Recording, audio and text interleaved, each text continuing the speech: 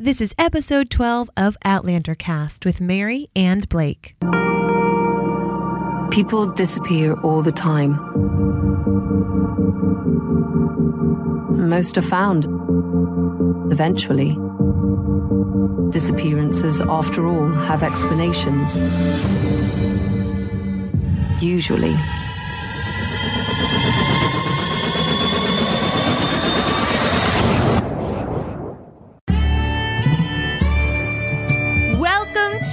Outlander Cast with Mary and Blake.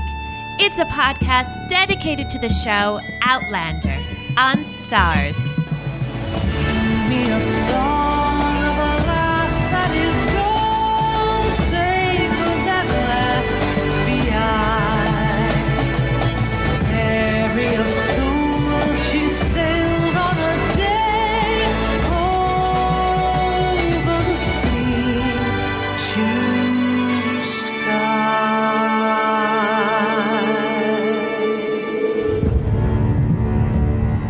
Hello, hello, hello, friends. Welcome to Outlander Cast. I'm your host, Mary. My name is Blake. And I've missed you guys, and I've missed this. I've missed every part of this for like so long now. It's been uh, how, how long's it been now? It's been about three months. No way. When, when did we do the uh, the live the live cast? Um, I think, well, we did it like right after the season ended. Wow, I can't believe that. Yeah. It's been way too long, guys. We've I've definitely missed you. Well, so have I. so We are really happy to be back and we've missed this community. We've been staying in touch with you, of course, over social media, but we've also missed Outlander. I know. I, I miss it too. I, like it's it's like a fun show. I, I miss looking forward to something. Although I do have Walking Dead now, so I feel like I'm cheating on Outlander a little bit. A very different genre. A little bit, A little? just a tad. You're talking about Scots versus zombies. That sounds like a great band name. oh, Scots versus Zombies. okay. anyway. Hey, you know what's really cool about this too? What? We're coming back at you from our brand new studio. Yes, part of the reason why Blake and I have been on a podcasting hiatus, we had a big move, and now we have this great setup where it's our own little studio in our house. Because before we were doing it from our dining room table, it was like so, we we couldn't eat our dinner at the table. And people would come over. We entertain a lot. People would come over, and it was like the highlight of our house was all of our podcasting gear. So now we're very excited, and hopefully we'll be able to pump out a lot more podcast episodes. We also wanted to let you guys know in on a little secret. This is like super duper Outlander cast only information. Yeah, like you can't you cannot let this information out unless it's to Outlander Cast fans or to the Outlander Cast like Facebook or whatever. It's like double secret probation stuff. Sweetheart, go ahead. I'm pregnant. and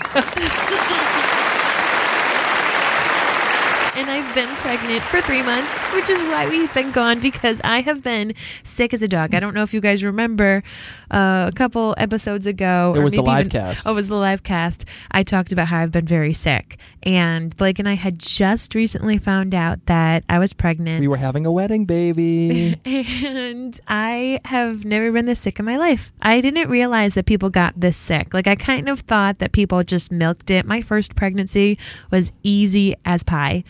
This one has not been. So I've decided that I'm probably having a girl. Yeah, I think so because, you know, usually when you get the girl, she's like making you feel ugly and she's making you feel sick because, you know, hey, that's just like the folklore, right? That's the mother's tale. That is. That is. If you're having a tough pregnancy, it's because you're having a girl. So we'll see. Blake and I will find out the week after Christmas and That's we will correct. let you guys know.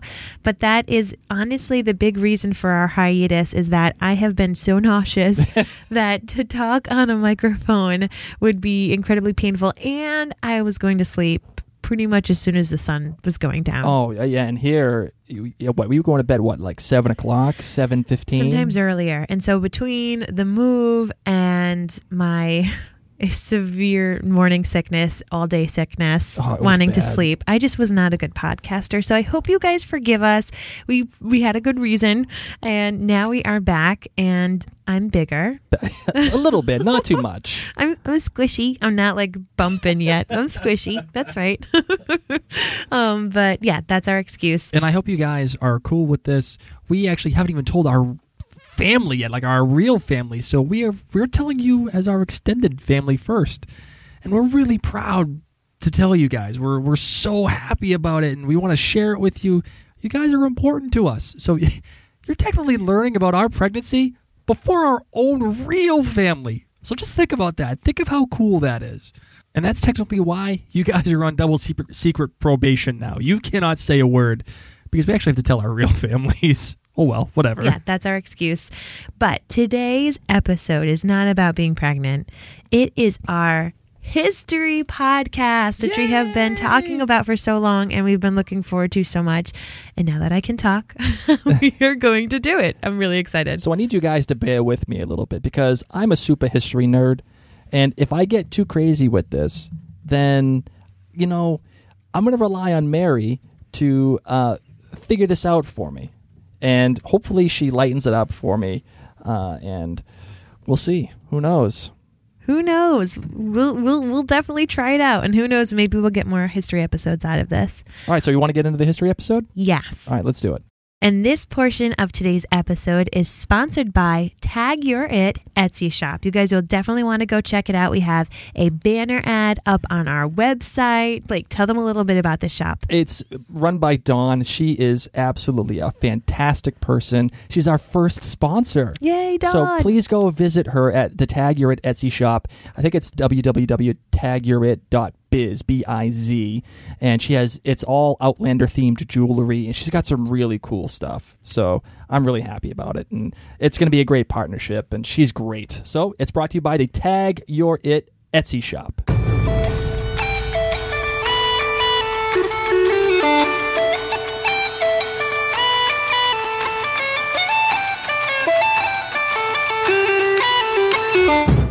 Ben, let's start off. What is a Jacobite? Oh, now, now just let's do a quick thing. If you already know all of your history about Scotland, just enjoy this. But if you've watched Outlander or read the books and been like, I have no bloody clue what's going on and I did not pay attention in history class, this is the episode for you. So let's we're doing from the basic beginning through. Yeah, All right, Blake. So what exactly is a Jacobite? Like what does that word mean? Because when I first heard the word Jacobite, I thought it was that bunny. What's that fam- famous bunny that like lives in the southwest and it's scary? What? Isn't there like a bunny You that's mean like a chupacabra? maybe that's yeah, because Jacobite and chupacabra. well, it has the word bite in it. So I just pictured some scary jackrabbit biting people. But then, you know, Well, I you said the. Southwest thing. That that kind of ticked me off. Okay. All right. Well, anyway, Jacobite. A Jacobite is uh, it derives from the word uh, Jacobus, which is Latin for the name James. Why do people keep changing names? Just stay with one. well, because you know they want to talk like Latin and they want to feel smart and everything. It's it's cool. But where do they get the name James? They get the name James from King James the First, who was a Stuart king and the first ruler of, ruler of a combined throne of England and Scotland. Now, when you say Stuart King, is that like their last name or is that like a type of king? yes, no. Because you said he was the Stuart King. Like, yeah, what does that mean? Does it just mean his name was James Stuart? actually, yes. That that, go. that is it, it is what his name was. But the Stu- a Stuart king is of the Stuart line, like the Stu- the Stuart royal family, the lineage. Okay. he came from the Stuart Kings. The Stuart Kings were a family created a, long time ago, So Jacobite is a nickname for James Stewart. es- es- essentially, and it's named after King James the First, They could have just called him Jimmy. the Jimmyites, right? the Gibbets. The Jims.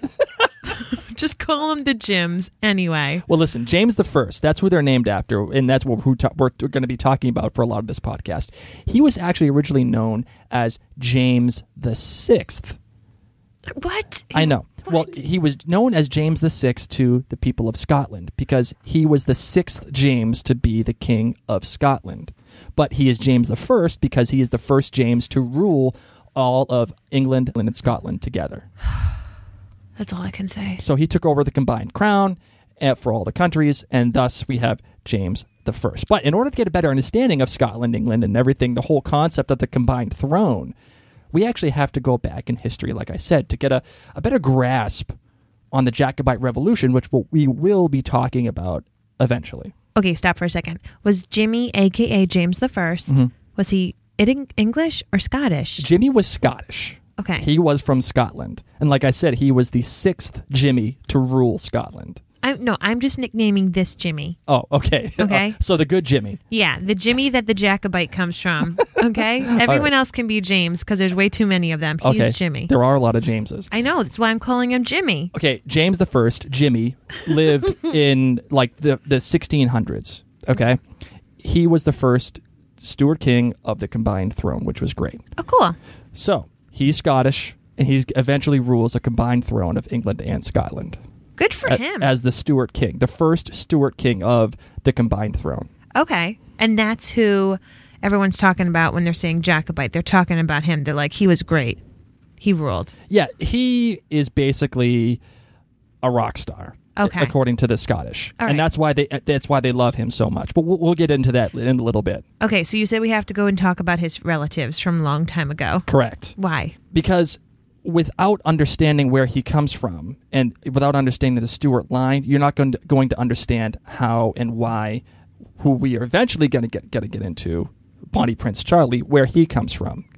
Okay, so the royalty of England has always been defined by a family lineage. There've been a number of different lineages that have ruled England. You know, like they had the Tudor the Tudor family who Oh, like was Henry VIII. Yes, that's my girl. Good job. He was so handsome in that show, The Tudors. Oh, we did watch that show. Jonathan Rhys Myers. It's actually who we named our son after, by the way. Reese. And then we have the Stewart family, which is in Outlander times, Okay. right? Yes. Okay. Jimmy's family. And then that's Jimmy's family. And then we have the Hanoverians, which is actually the current royal lineage.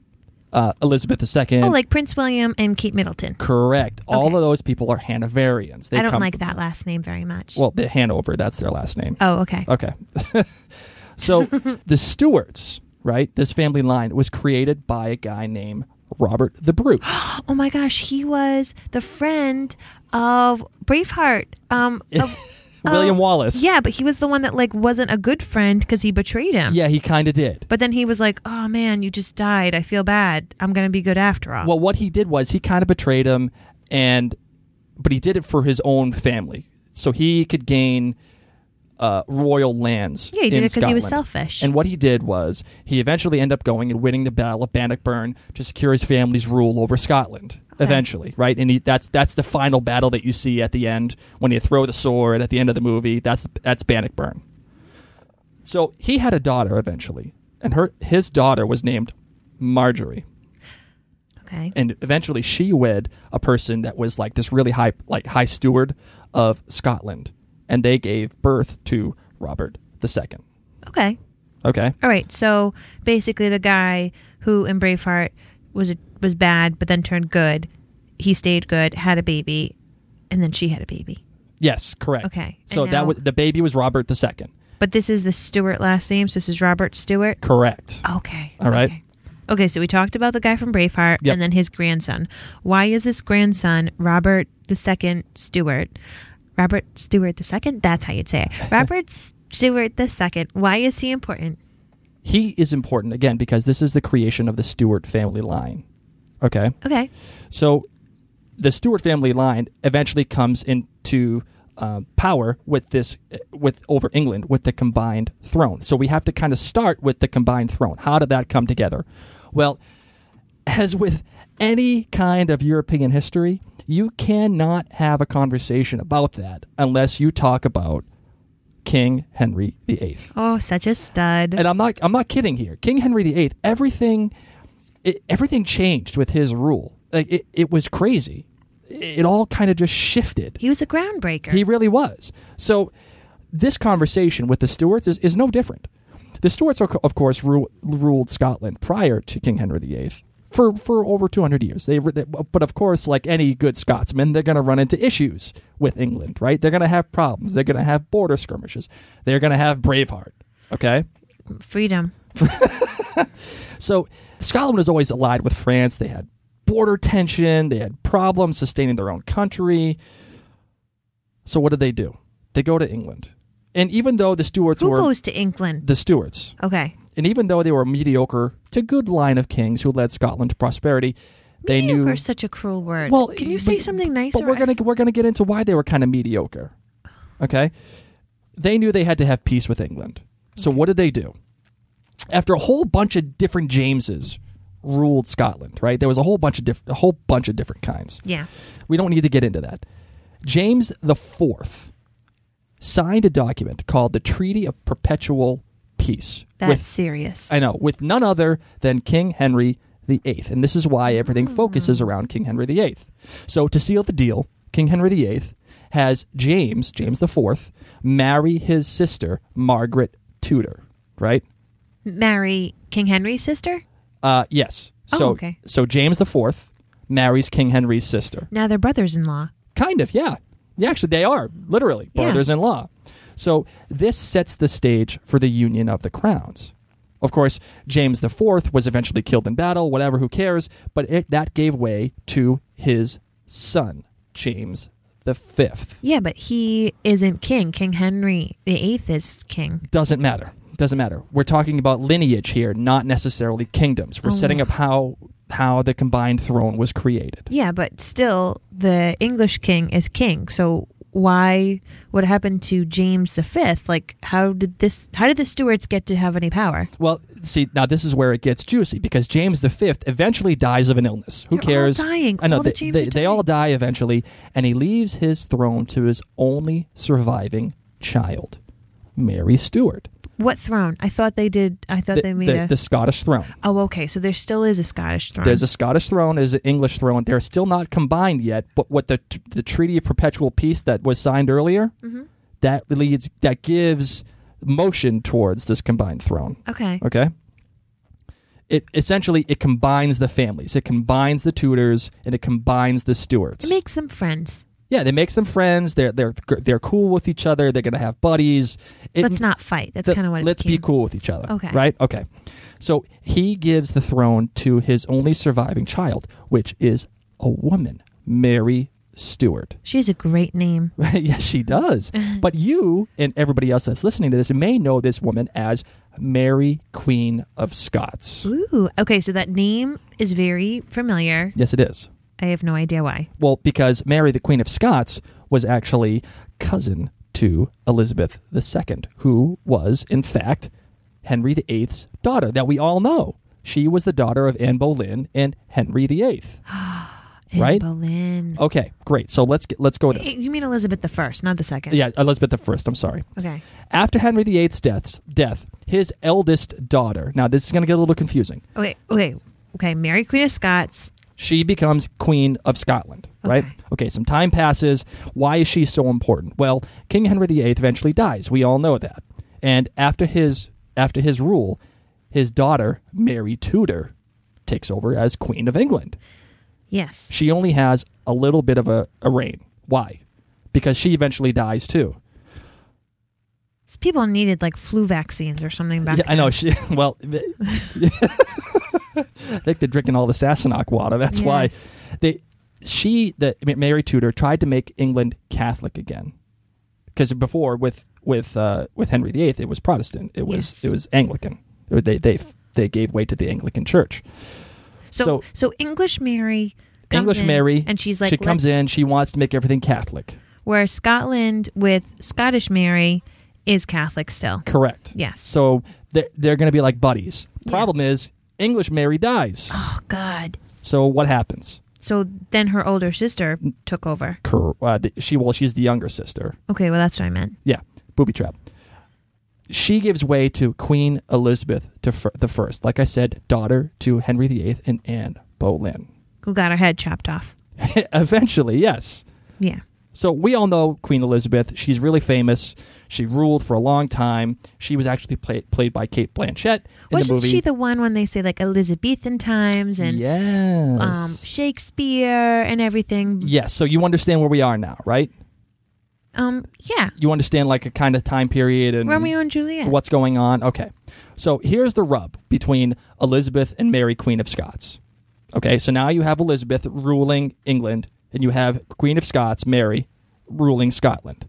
In the eyes of many Catholics, Elizabeth was not legitimate. She was an illegitimate heir because she was a Protestant and also the daughter of Anne Boleyn, who'd been vilified in England. Okay, that's like a lot of words. So basically, you're saying when King Henry married Anne Boleyn because she was a bit of a hussy, um, Yep. And then he changed his mind on her because she went a little crazy and he beheaded her. He was like, "Everyone, she was terrible. Correct. She's a villain." So nobody really was down with the fact that their daughter should get the throne, especially because of her religious beliefs. especially because of that and because she was a woman and there was there was a lot of problems especially catholics catholics did not like elizabeth being on the throne right yeah. okay great since mary tudor died and they believed that elizabeth was Ill- illegitimate because of that to them henry viii didn't have a legitimate tudor heir to the throne Who felt this way? Just the Catholics, or a lot Catholics of and, people. and, and some different people felt this way. Now, this wasn't a, this wasn't a widespread thing, but this was enough to to have political dissension. yeah, people were questioning. Okay, so now we come to Mary Stuart, who is the Mary Queen of Scots. Since she was the senior, like the, the eldest descendant of Henry VIII's sister, remember how she uh, hit her dad got married to um, Yeah, the brother-in-law. the brother-in-law. Okay, she to them was the only rightful heir to the throne of England. to- and in she their was eyes. Catholic, so And they liked that. That's like brownie points. That's right. So I'm trying to piece this together. So we had English Mary who died, and then English Elizabeth who was ruling and you know Elizabethan times, but people just weren't really down with that, even though they think it was like one of the best periods of England. Anyway, people who were living in England didn't really love the fact that she wasn't Catholic, and they were like, "Hey, Mary Queen of Scots is pretty cool, and she's Catholic, and she's you know got the right lineage."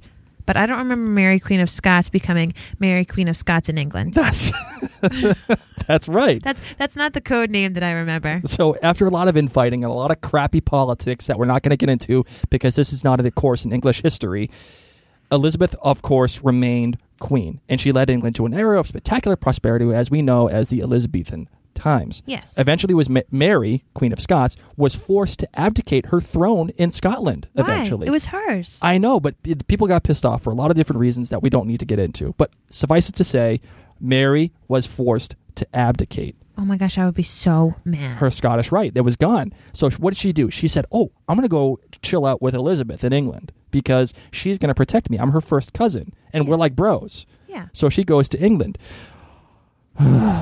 but of course, following in her father's footsteps, what does Elizabeth do?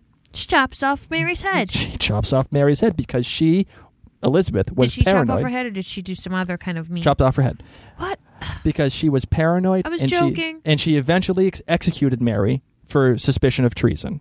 So this paves the way to James the fifth, the sixth, her only son, actually known as your boy Jacobus, James the first. Who I like to call Jimmy.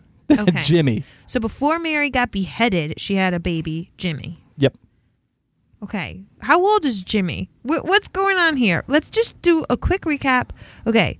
So, Mary Queen of Scots, who reigned for a very long time while other people were dying, Mhm. she was just chilling in Scotland, minding her own business, and things went down, and people were just cranky. So, she moved to England to go hang out with her cousin Elizabeth. Mhm. But Elizabeth was a little crazy. Yep. I was like, um, hi there, dear cousin. Come on over. Chop off her head. And all this was precipitated by the fact that Henry VIII signed that treaty to combine the families. Well, did Elizabeth not read that? What was it called? Something about peace? The per- Treaty of Perpetual Peace. Perpetual means forever. Forever, Elizabeth. girlfriend. Elizabeth did not read that in history class.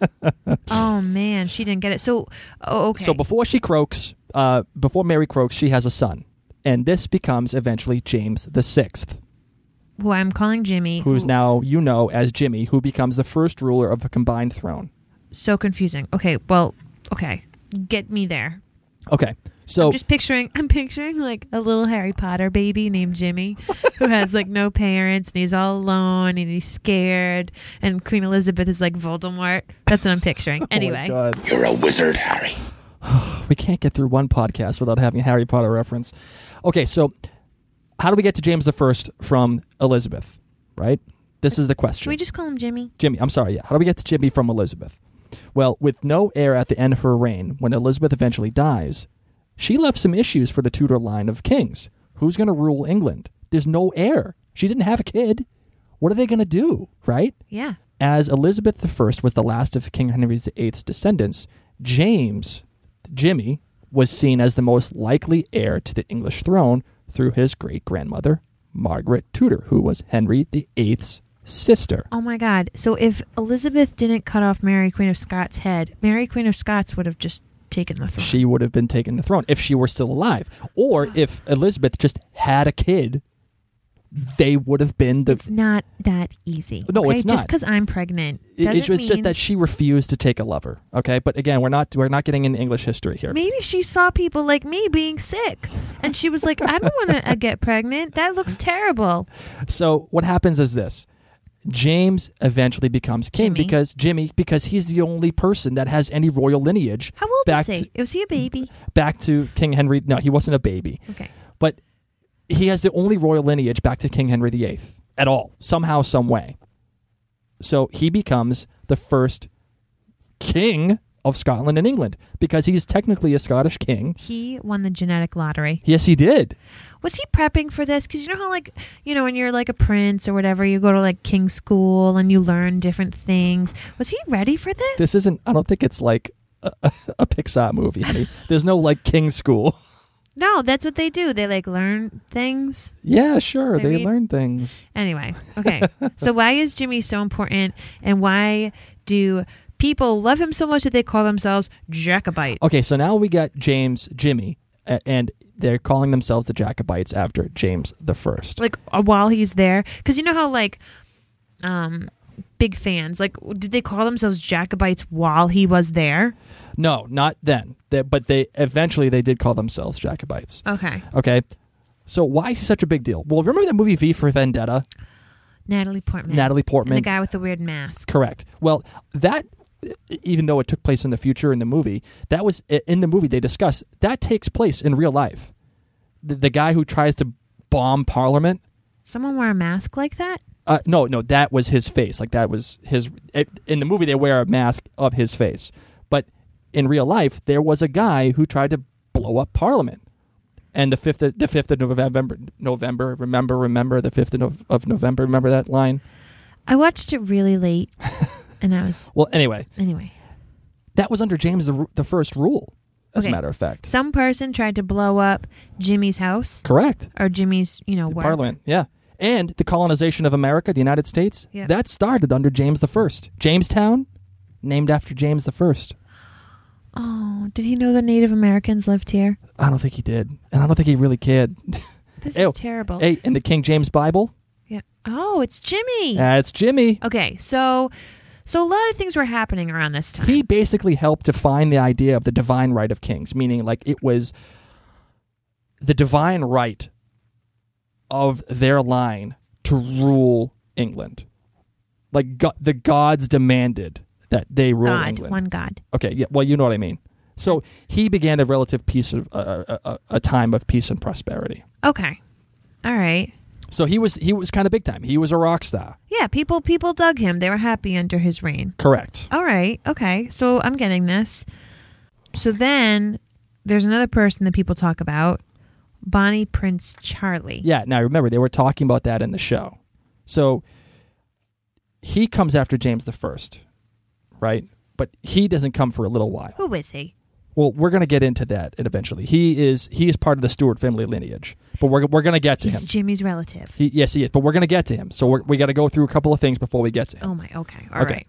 Eventually, James the First, Jimmy, was executed by a guy named Oliver Cromwell. What? This is why I'm glad I'm not royalty. It was after the English Civil War, and yes, England did have a civil war, and it the Civil War was to create the Commonwealth of England, a country ruled as a republic.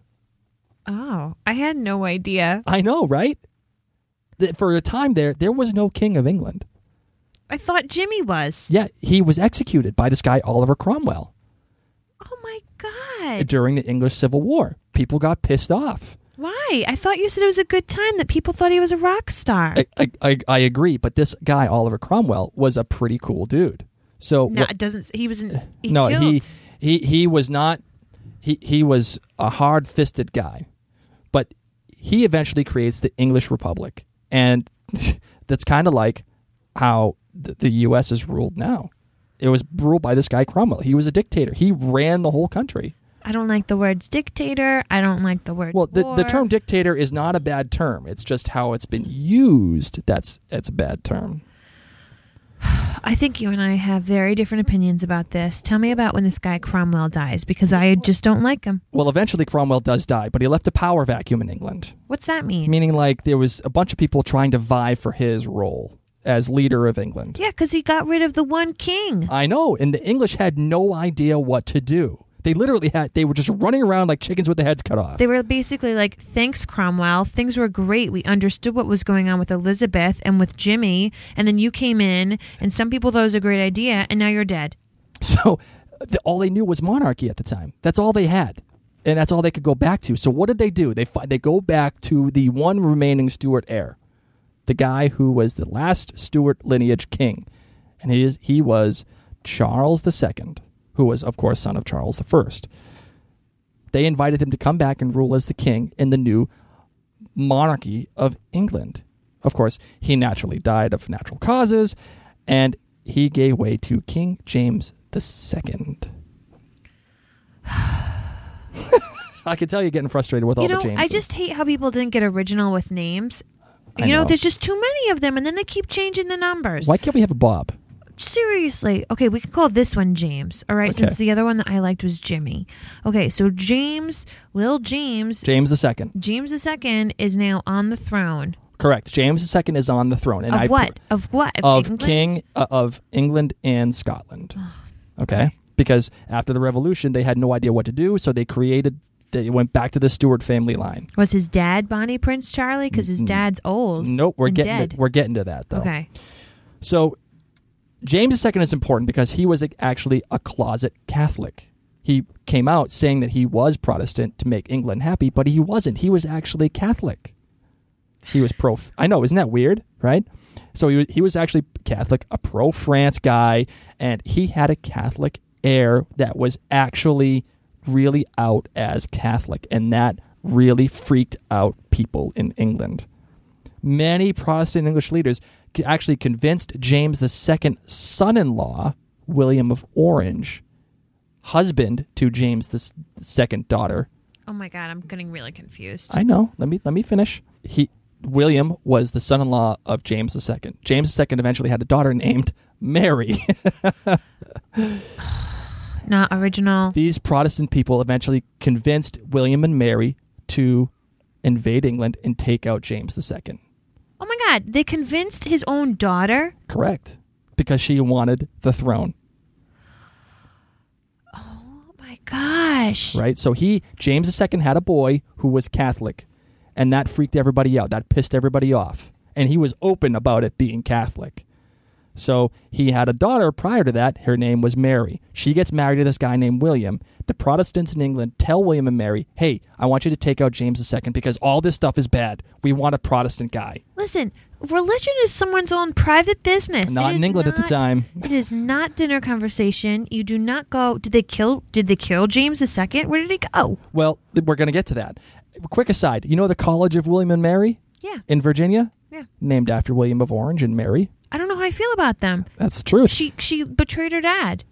So it's actually the second oldest college in the United States. You know that? Oh, second only to Harvard. Wow. Imagine that.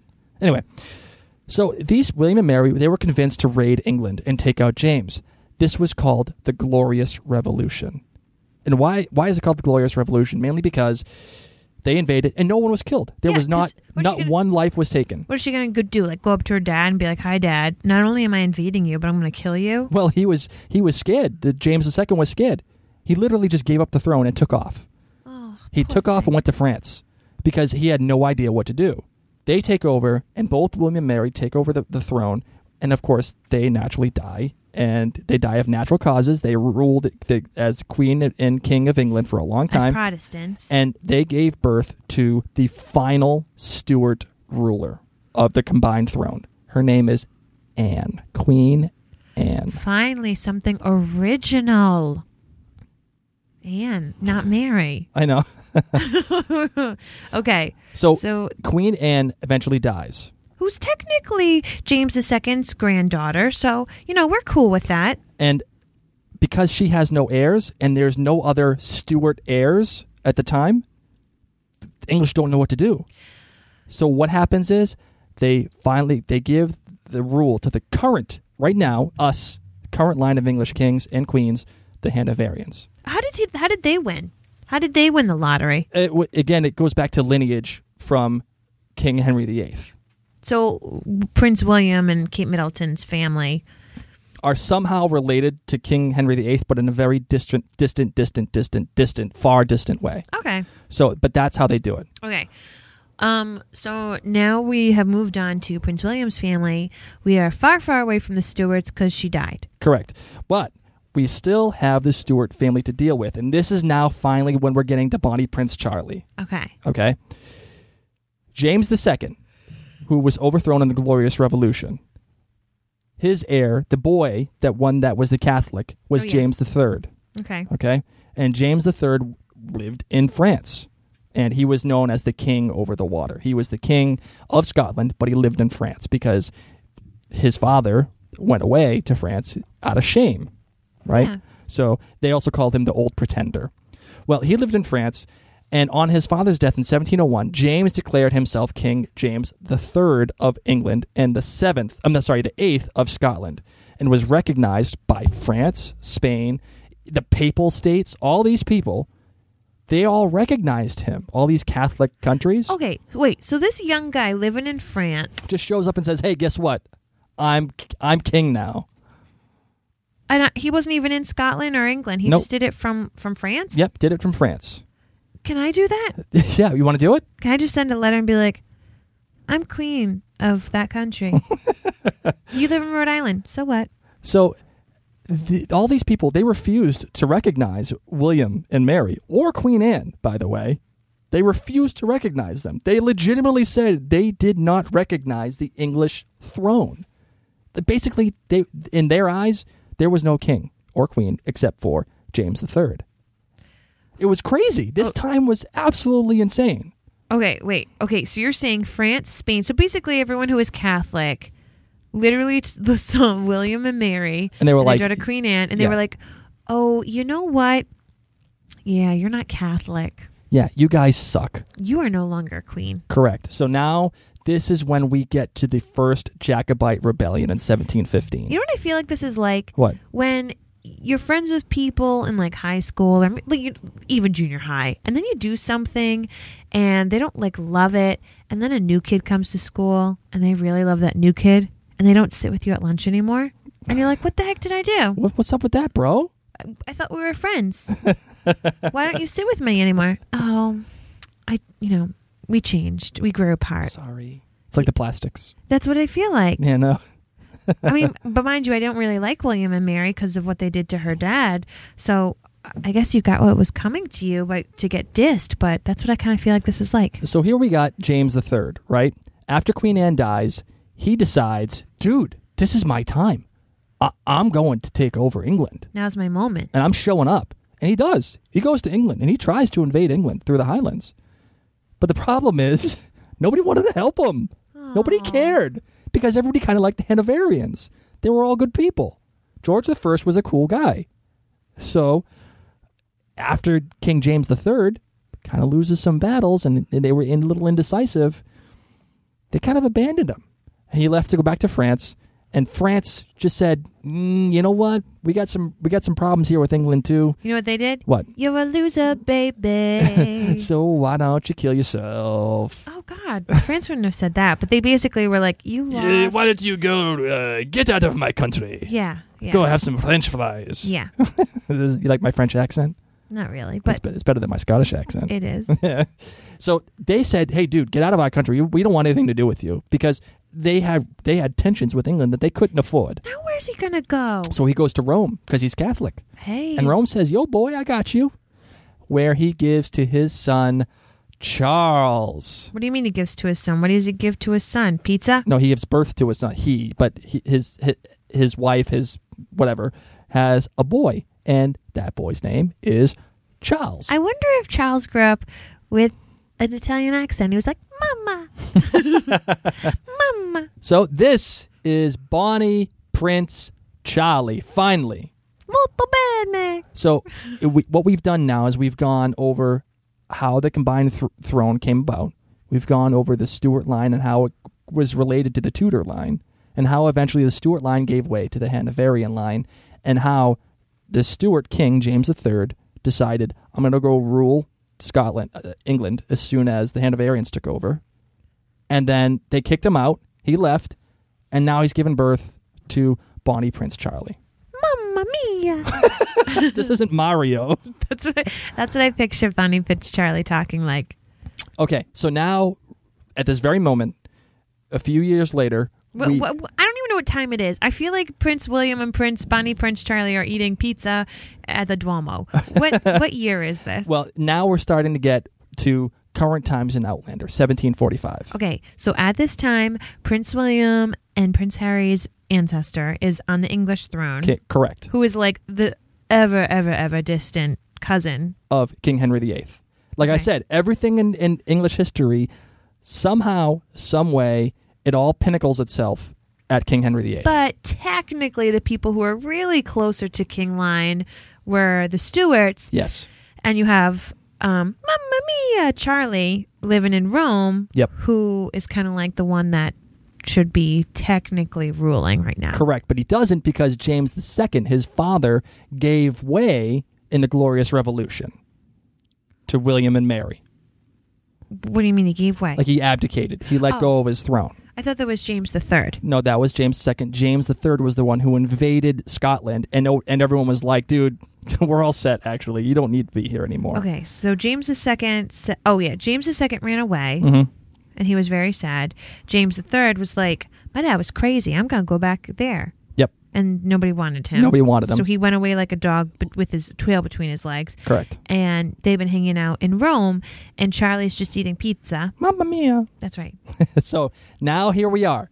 We are at 1745, and it is present day Outlander. We are now talking about Charles Edward Stuart, Well, it's not is technically present day Outlander. It's close to. well, get close to it. So we're talking about Charles Edward Stuart, who is, as we all now know, Bonnie Prince Charlie. Can we just call him that from now on? Bonnie Prince Charlie? Yeah. Yes, we can. Okay.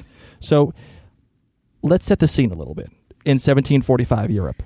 Okay. Okay. Why does the Battle of Culloden happen? I'm going to get to this. This is the scene in Europe.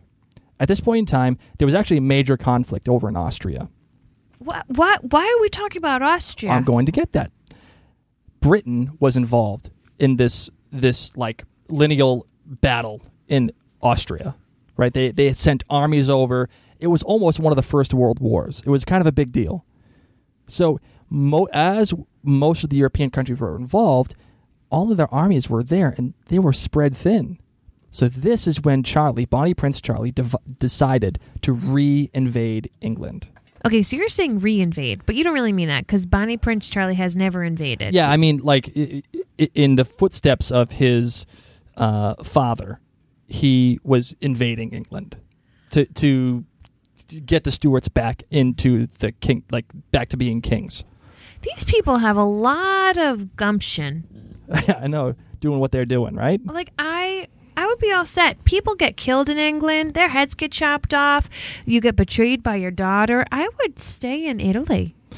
Well, listen, Charlie Char- Charlie decided not to you know- Charlie was he was young and he was vibrant. He was a, a pretty capable politician. He's like he's kind of like Barack Obama. Like he like spoke Barack well. Obama like when he ran circa first. 2008. Okay. Okay, Barack Obama 2008. That's Bonnie Prince Charlie. Change. Okay, yeah, change is a coming, And that's what he promised. And as the Stuart king, he thought, damn, I got the right to do this.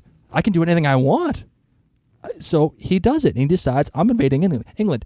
And in fact, I am so convinced that I'm awesome that people around me are going to follow me. They didn't follow my dad because he was kind of a dink. Me, however, I'm awesome. And when I get there, everyone's going to kind of flutter at the knees. Hmm. Was he handsome? Yes, he was. As a matter of fact, he was. He was a handsome dude. That helps. So what did he do? He goes to the French and says, "Hey, give me some help here. Bonjour. I'm going to." Les poissons. I just snorted because of you. Thank you. He convinces the French to help, and he actually convinces two Highland chiefs in Scotland to help him as well, by with some intercommunications back and forth. So he garners a force of three thousand men and some French ships and some French armies to go to Scotland, Highland Scotland, and invade. The problem is there was a big, huge freaking storm over the sea while he was sailing.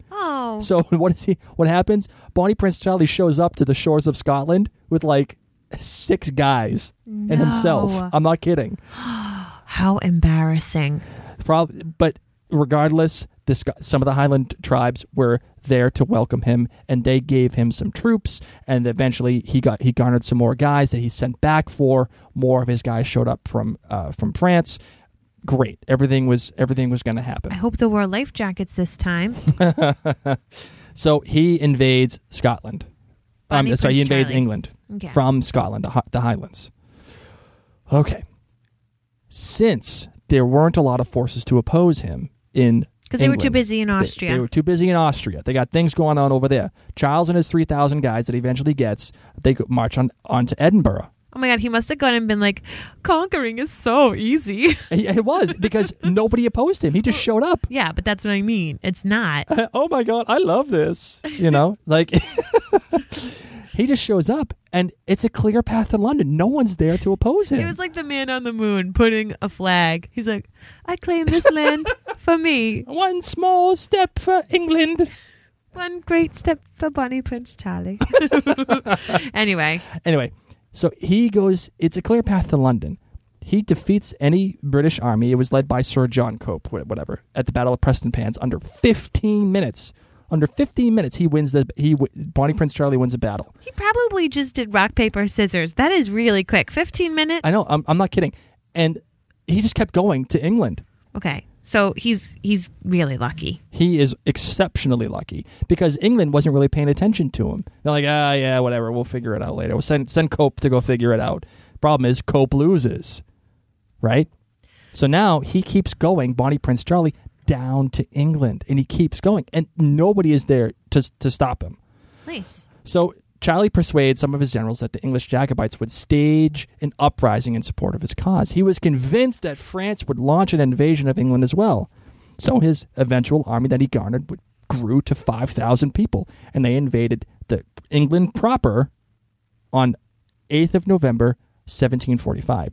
They advanced through Carlisle and Manchester down to Derby. They kept going and going, and this started to gain some steam. But the closer they to England that that they got, the less support they received from the people around them. Well, yeah, you're getting to the epicenter. Correct. I mean, why does why didn't he just kind of like circle around? Like, hey, people outside of London, you're probably going to listen to me. Why did he go straight for London? I would have gone around in a circle, picked up more people, and then gone. Well, finally, George I hears about this, the Hanoverian king. Prince William's grand grand grand poppy. Yeah, whatever. Okay. He hears about this and he says, All right, this guy, Bonnie Prince Charlie, dude, I'm done. It- It's like a fly. It's, it's, it's like the fly that's buzzing in your ear. Oh, it's more like mosquito. I, I hate when mosquitoes do that. Oh, yes. Yeah, that. That's what Bonnie Prince Charlie is, is to uh, George the First. So what does George the First do? Squishes him. Yeah, he sends his he sends his first cousin. Like he wasn't screwing around. Like I want somebody I can trust. This guy's name's Lord Cumberland. He sends Cumberland over to go squash out Bonnie Prince Charlie. Ugh, tell me what happened. Sounds juicy. It is juicy because this is the beginning of the end for Bonnie Prince Charlie. Oh. This is it. So, with only 5,500 men, which he eventually garnered, Charlie's top general, this guy's name's uh, uh, George Murray. Too many Georges already. whatever, it doesn't matter. He began arguing that it's like, hey, Bonnie Prince Charlie, dude, w- th- George the First heard about us, and w- he's got a lot of guys. What we need to do go back to Scotland right now, and we need to mm-hmm. regroup, get some more guys from France, and then show back up here. And if we, even if we win, if even if we beat Cumberland, we're still going to lose so many guys that it's not even going to be worth our time anymore. Okay. We so, won't, we won't be able to fight continually going forward. so did Charlie listen to this good advice? Of course not. he says, "Hey, dude, you you just don't have a commitment to the to the Stuart throne. What are you talking about?" Well, here's the problem. It was essentially a lose-lose situation for Bonnie Prince Charlie. Yeah, it sounds like it. It sounds like he was overconfident and he should have just heeded um, his buddy's advice and kind of hung out a little bit and waited. So he attacks Cumberland, Lord Cumberland, and he got support for some from a couple Highland clans. He kept his army, and he was vigilant until an English spy entered the, his council. And the spy says to them, "Guys, I just heard that there's an army of nine thousand British soldiers that just showed up in England from Austria, and they're coming to kick our ass." Oh so when he hears this, Charlie says, "Dude, f this. We have to retreat. Go back on those boats, man. Get out of here. We got to get out of here." go back and get some pizza. So he finally retreats back into Scotland, and a bunch of different little skirmishes happen, and so on and so forth. And this and the, Sc- the Scottish keep getting beat because now all these British soldiers are are there now. yeah, there's a lot of them. So this is where the Battle of Culloden happens. Oh. This is it right here. So after retreating and skirmishing all these different times, the Jacobites and the English finally meet at Culloden, right outside of our favorite little town of Inverness. A, you know, a group of Highlanders, some Lowlanders, French, and Irish fought against the English. But we all knew the loss, right? Yeah, the Scottish lost. That's that's so sad. That's what Claire was looking at with Frank. All the gravestones. Correct. And Frank at that time said it was a slaughter, right? Yeah. Well, yes, they lose the battle. They definitely lose the battle, like Frank said. It was both quick and bloody, and it was taking. It, it took place, like Frank said, in about an hour.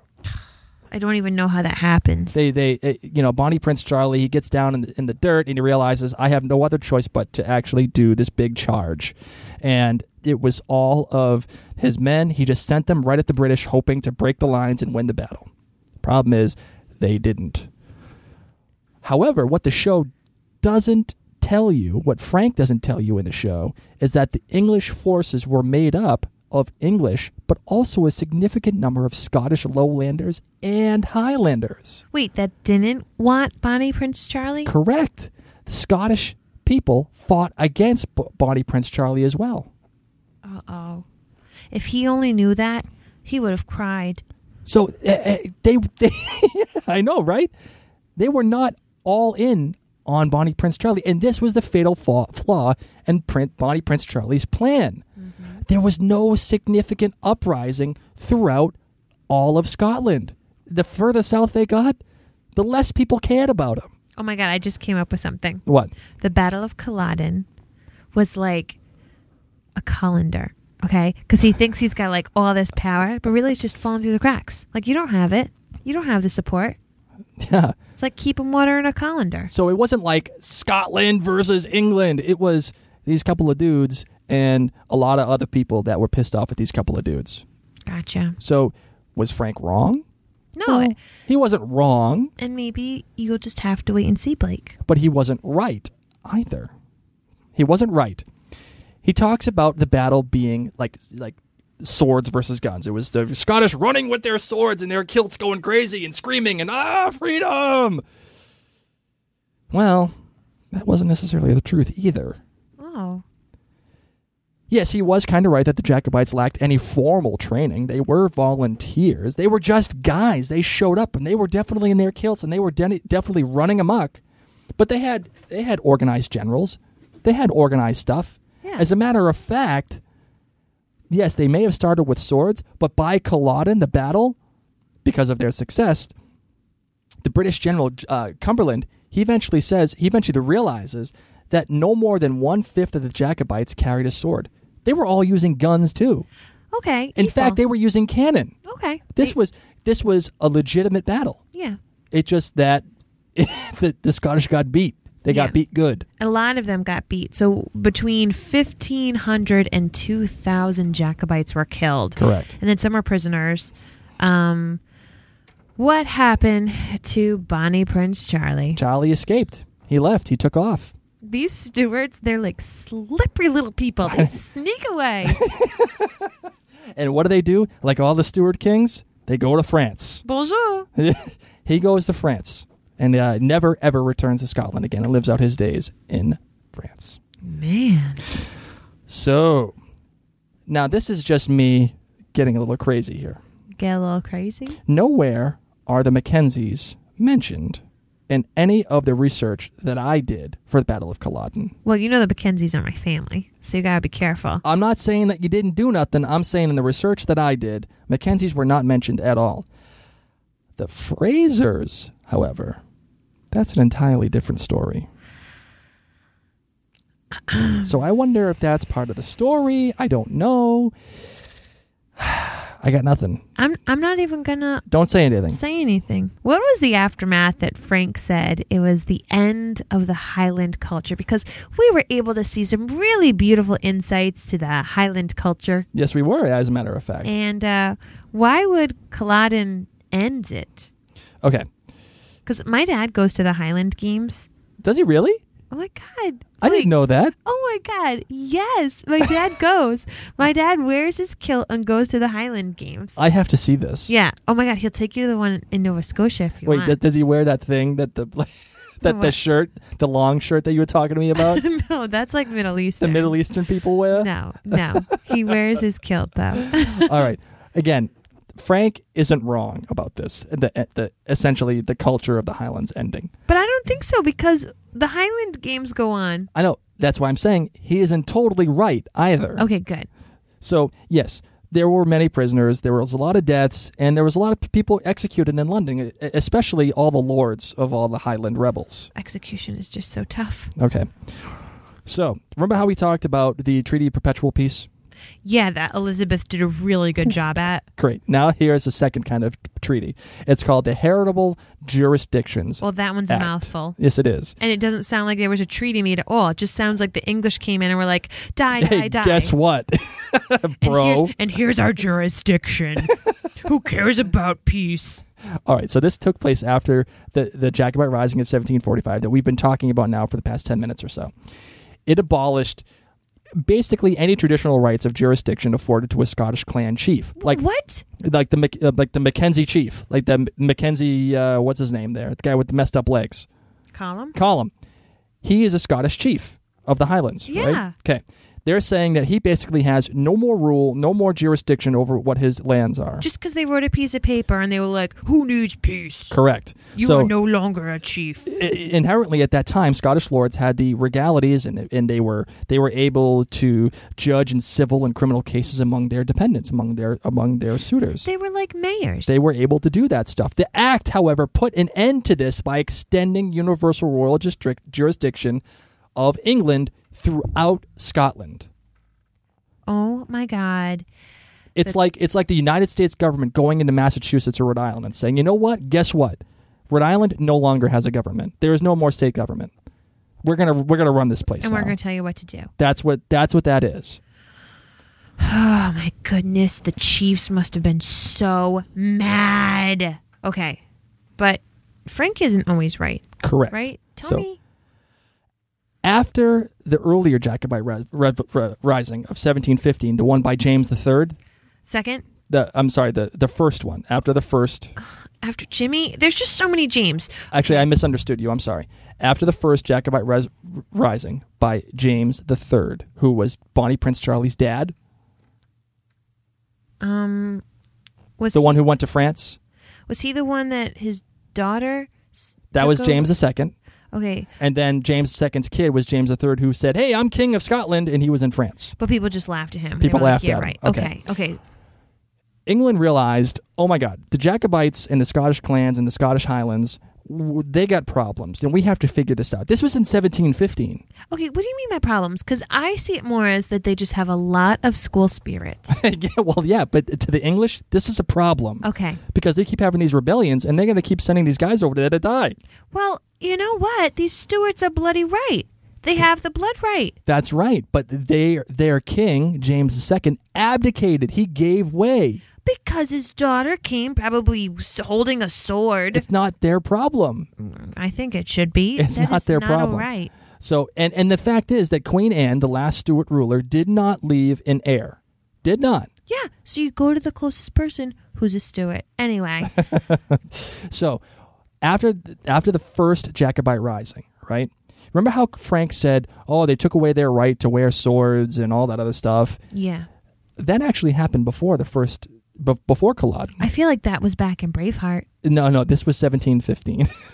Oh. so that Remember- actually happened before Culloden. Okay. It didn't happen because of Culloden. They had already placed this act called the Disarming Act in Scotland in 1716 because of the first rebellion. They didn't want any Scottish wearing any swords or whatever. They didn't they didn't want it.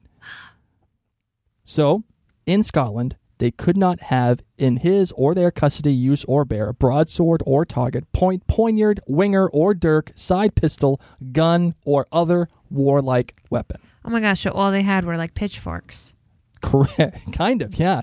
So essentially, their rights had already been taken away before the 45 rebellion. Well, no wonder people were upset. I'm surprised more people weren't upset. All right, so getting back to the 45 rebellion and the Heritable Jurisdictions Act, the ones that I talked about where the where the people lost their right to have jurisdiction over their over their people. Where they, where they took away the chieftain rights. All right, this was mainly a reinstatement of the earlier Disarming Act. But more hardcore. a little bit more hardcore. There were more severe punishments, which this time was originally like, and, and this time it was more rigorous, rigorously enforced. It was more like, dude, we're not screwing around here. Like, you cannot wear a sword. If you do, that is the end of what we're of, of our relationship. We are not going to be cool with you. Okay, so this is what I don't understand history wise in the show. So, like, Black Jack Randall sees, you know, Scottish people holding swords. Like, they have a sword on them. Yeah, well, the, Why don't they get in remember the rebellion hasn't happened yet.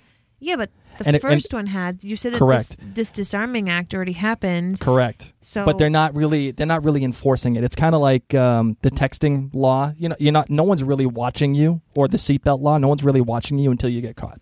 Okay. Okay. Okay. So, but where where Frank is kind of right is that there was a new section put into this act called the Dress Act, which banned the wearing of any Highland dress. What? It also included uh, to protect those involved putting down rebellion from lawsuits, measures to prevent children from being educated in disaffected or religious rebellious principles. What does that even mean? mean like yeah, like they they couldn't be taught like Scottish ways to be rebellious. Oh my god! Uh, When you said Highland dress, and it even included a requirement for school prayers for the king and the royal Hanoverian family. okay, so they don't get to have their cool outfits.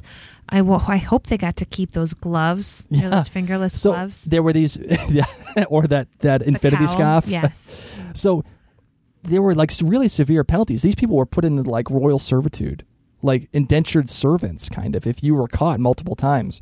And if you were caught once, you were minimum six months in incarceration and transportation to a penal colony for a second of mm-hmm. offense. And these and and that was like big time problems. God, England was not very nice. So that is the history of Culloden and the after effects of Culloden. So Frank was right, nece- but he wasn't necessarily wrong. He wasn't necessarily right either. Oh my goodness. Okay. they're they're they're they're they're taking creative and dramatic license, which they should. It's a TV show. They're supposed to. They're supposed to make you feel like it's Braveheart, like freedom and all that other crap. Okay, so I'm now very, very, very, very mad at England. Well, you kind of should be because England at the time was not a not a good place. And this was the time when they were trying to mess with the United States. Yes, that's right. As a matter of fact, We taught them a lesson. damn straight. Okay. So recently there was a vote, a referendum vote in Scotland where they had the choice to vote if they wanted to be Scotland all by themselves. Correct. So, how does all this relate to the referendum?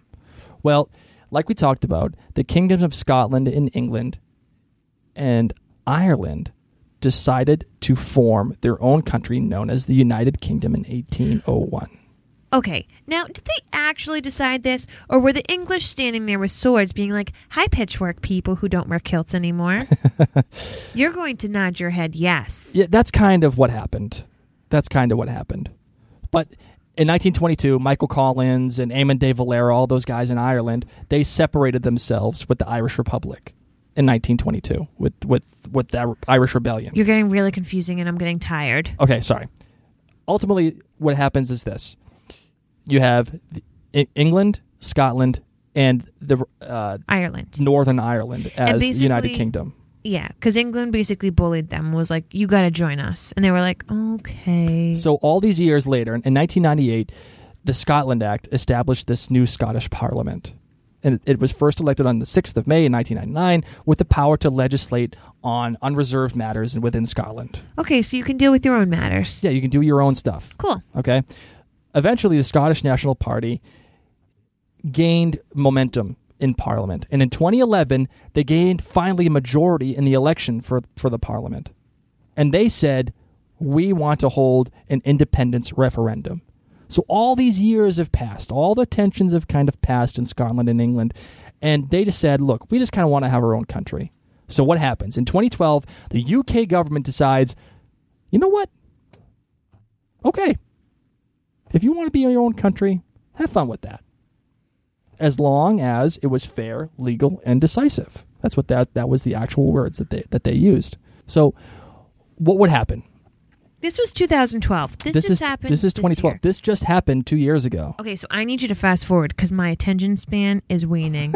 it's true. It is totally true. Okay, so eventually they come to terms. They realize they're going to have this referendum, Okay. and uh, then they actually th- th- what the, one of the funny thing is the vote would take place on the 700th anniversary of the Battle of Bannockburn, the one that Robert the Bruce won way back when, when the Stuart family line was created. Oh, Mel Okay. Gibson. That's right. So, you know, who would be entitled to vote? Uh, British citizens who are resident in Scotland, uh, you know, Scottish people, uh, anybody else that were any like anybody else that was in Scotland had the right to vote Okay. for Scottish independence. Okay. So the Scottish people voted. And it was like this unbelievable turning out of people. All of these people everywhere showed up. Okay. So what did they vote? They voted no. They did want independence. Why? You see, now that's the thing that is going on right now. Because I'm like mad at England still, and I'm not even. You're not even Scottish. Scottish. Well, I kind of am, but not really. Okay, my family. well, you got to you got to consider the terms. Why would people not want to vote for Scottish independence? Because they have problems getting their own money. They have problems getting their own armies, their own economy upstarted. What happens when the the British pound, right? That's what they use right now. They don't they don't use they don't use uh, the euro. They use the pound. The pound is the most valuable currency in the world, to my knowledge. It's even more valuable than the United States dollar. Which is not worth a lot. Well, so- right now it's not necessarily. But what I'm saying is, once you go from the pound to something else, your own little uh, currency, think of all the inflation. Think of all the problems that's going to happen as a result of that. All the, all of like the technical details, schooling and armies and colleges and oh my god, social security and all all these things. That all has to be decided. Oh my god. So basically, it was like getting kicked out of your house when you're 17 years old or 18 years old from your parents, but you're not really ready, and they're like, "Here's Sorry. your choice." Yep. Um, yeah, if you want to, if you want to stay out without curfew or do all these things, fine. Go see what it's like to be an adult. Yep. And then they kick you out, and you're like, "Oh my, oh my god! All I know how to make is ramen." um, I don't, I don't know if I'm ready for this yet. So that's what happened. And that, my friends, is the history of the Jacobites. And you also got a little bit of history of English history, the Tudors, the Stuarts, and the Hanoverians. When we're okay, let's clarify one thing. Yes. We're watching right now. Yes. Which of the Stuart family is alive? And right now, they? at this very moment, very moment. we have James the Third that is alive, Mm-hmm. and we have Bonnie Prince Charlie who is alive. Mamma mia! Mama, Mamma Mia. okay, my brain is blown. My attention span is finally ended. Yes, it has. Good job. Thank you so much. Good, good job. I hope I hope this podcast didn't suck, guys. I'm sorry if it did, but I really wanted to get some good historical grasp of what is actually happening in Outlander, and not just the kind of artistic license that they're taking, but really what actually happened. It it, it was true that yes, there were some Scottish people who wanted Bonnie Prince Charlie on the throne. They had every right to want him on the throne. He was their Stuart king. But the problem was, not everybody really wanted him on there. Not everybody really cared about it because they were happy with the Hanoverians. They were happy with the ruler they already had because they were good people. And they should have. Now, the guy who eventually ran the, Are you about to go on a tangent? the well, the guy who eventually ran the, revol- uh, the the armies against the Americans in the Revolution, the American Revolution, he was not. He was kind of crazy. But for the most part, the Hanoverians have been good rulers. So nobody really gave the support to Scotland that the show is making you believe that it gave. No, some people did. Some Scottish did. Some did, but they're making it seem like it's like, oh my God, Scotland versus England, and we're gonna go fight, and it's gonna be great. Blah, blah, blah. I don't take it that way. And that I didn't take happen. it as like, you know, they're picking up people here or there who are really passionate. Agree to disagree, my darling. Well, let's just close out the show and uh, get people on their way. I'm glad. I hope you guys enjoyed this podcast. And coming up next, what do we have, my darling? We have our interview with. Christian Mallet. Oh my god, I'm so excited. Christian Mallet was the guy, if you don't remember, he was the guy who was in charge of all of the plastic prosthetics, including all of Jamie's scars on his back and the, the blood that came out of it and all that stuff. He was the one who was in charge of it. And he was in charge of some other some other things too that we're gonna get into that interview. But uh yeah, Mary's pregnant. We just did a history podcast. We're having Christian Mallet on. We're back in our new studio. We're back on the podcast verse. God, I'm so happy that We're we're, back, here. guys. We are back. I can't wait. So, honey, if people want to get in touch with us, how do they do that? You can find us on our website, outlandercast.com, and you can also find us on Twitter, Facebook, and Instagram. Our user handle is OutlanderCast. And you can also reach us at the Outlandercast hotline at 503 454 6730 or at outlandercast at gmail.com. If you're super excited that you saw a new episode come on up in your news feed, let us know because we're excited to be back. I'm excited to be like a human again. Me too, um, actually. I know, right? Three months is a very long time. Good Lord. Also, don't forget to check out the Mary and Blake online store where you can find a bunch of cool t shirts and everything Outlandercast related, including our famous Sassenach waisted shirts. And if you feel so inclined, there's also a little button, a little donate button on outlandercast.com where if you want to help keep the show going, if it's 50 cents, 25 cents, a dollar, or hey, even a 100 bucks, why not? You can donate it to Outlandercast and help us keep the show going. And most importantly, if you find yourself at outlandercast.com and you're like, hey, you know, I got a business and I want it to be heard on Outlandercast and all these thousands of people can hear it, you can sponsor us and uh, check out our sponsorship little tab there, and it shows you all the ways you can sponsor us, which include banners on our website, or sponsoring a segment of the show, or just sponsoring the whole podcast episode altogether. Whatever you feel like you need to do, we can do that for you, and it would be awesome. So make sure you check that out, guys. So, yeah, send us a message. Let us know that you're still alive and that you're still listening. If you, if we're you, back. and if you want to rate us, you want to rate us and review us, I can do that too. I'm, I'm okay with that. I'll, I'll take it. I'll have fun with that. You know, give us a five star, give us a four star, and if this podcast really sucked, give us a one star. That's okay too. look, look, I realize that history for some people is boring, but if you're really into Scotland, you're really into Outlander, hopefully this is uh, hopefully this this helped you out. And if Blake said anything incorrect, I don't think I did. I did I- a lot of research oh for my this. God, but someone's going to find something wrong. So, if so, send us an email and correct us. You can berate me all you like. I would. I did get my degree in history. Yeah, but, you know, you messed up already a couple times. You were saying like James the First or James the Second. That's because you're talking to me and you're messing me all up. That's right. All right, guys. Thanks so much for listening. We cannot wait to talk to you again soon. I'm Mary, My name is Blake. and you've been listening to Outlander Cast. Thanks, guys.